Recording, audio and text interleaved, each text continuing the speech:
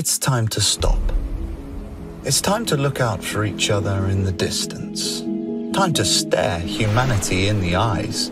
To take a break for the world. It's time to stop.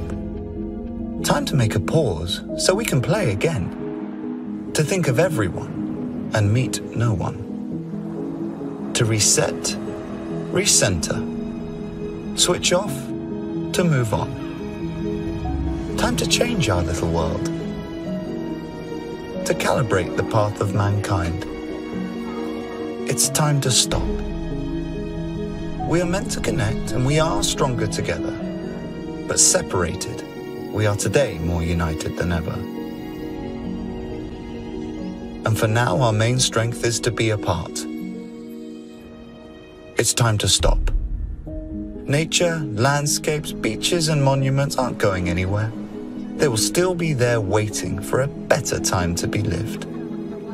And we must do the same for a while. It's time to stop. The perfect time not to visit anything. Sometimes to rise is to stand still. It's time to stop. Stop and think of ourselves. Think of everyone else too. It's time to stop and refocus as a whole for all. It's time to understand and respect our times. Respect one another. The faster we stop, the sooner we will bond again. It's time to dream of those amazing days to come.